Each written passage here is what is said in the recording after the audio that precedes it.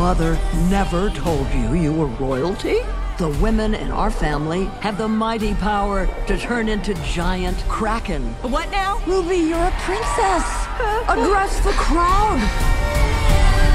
I think I am having a panic attack. Okay, Ruby, have a completely, totally ordinary day.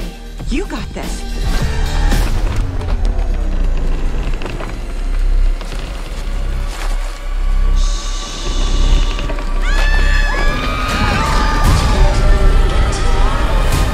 Like a freak. Ow!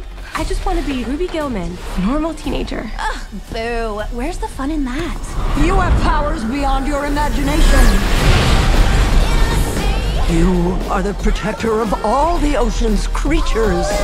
It's up to you to stop the evil mermaids. But people love mermaids. Of course they do. People are stupid. Show me how to use my powers. Are you ready? Let's see what you're capable of. Body armor. laser eyes? How do you shut them off? Almost.